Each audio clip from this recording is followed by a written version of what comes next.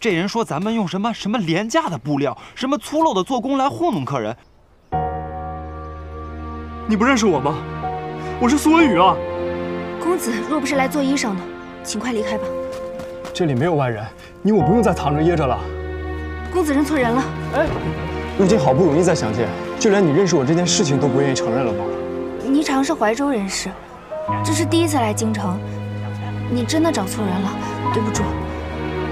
难道是我认错人了？那边就有。哎，霓裳，你等等我！我九江城里都翻了个遍了，也没找到霓裳姑娘的落脚之处。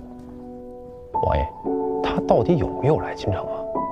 奴婢在西郊的一家小店制作的，好多人都慕名而去。王王王什么王？隔壁哪有姓王？王王王王爷！哎，王爷！可惜王爷错过了，霓裳才刚刚去山里采花了。怎么，姑娘如此健忘？不过分别了三个月，就不记得在下了？我可是付过定钱的，你不会想要赖账吧？